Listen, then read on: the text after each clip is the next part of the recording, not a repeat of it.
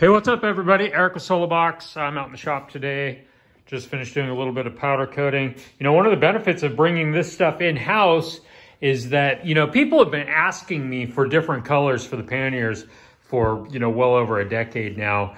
And uh, bringing this in-house, now I can start to offer some new colors.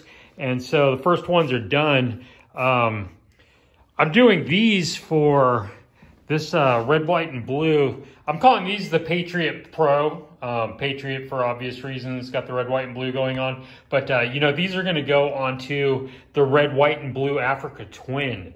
And so, and actually that guy is somewhat local. He's from Seattle, so he's going to bring his bike up. So these three boxes are going to go on that bike, and I will get to shoot a video of that. And so stay tuned.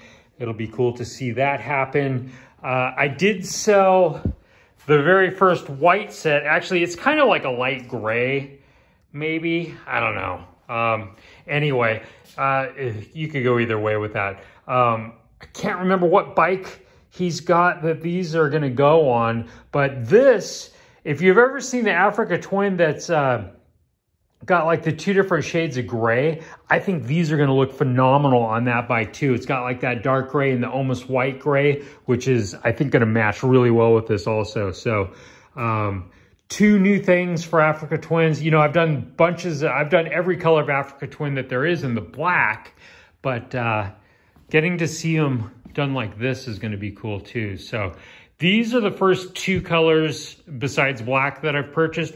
One thing that's really nice about both of these also is that it's the same exact texture that's on the black. So I can keep everything real consistent as far as um, the texture of all the different boxes, and that's important to me. I originally thought I was gonna do the red, white, and blue in a hammer tone, which is, hammer is totally different than this textured one. And so there's still a couple other colors that they offer in this same texture, which is nice.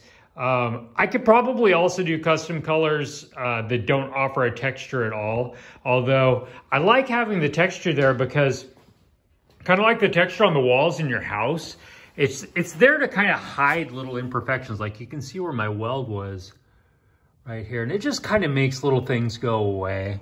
And so it's there for a reason on the walls in your house.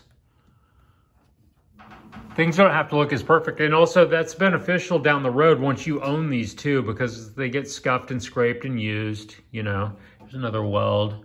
It just, it kind of, if this was perfectly flat, like this weld would stick out a lot more than it does now. So it's there for a reason. Anyhow, uh, if you want to get a set of these, give me a shout, 360-840-7139. Hope to talk to you soon.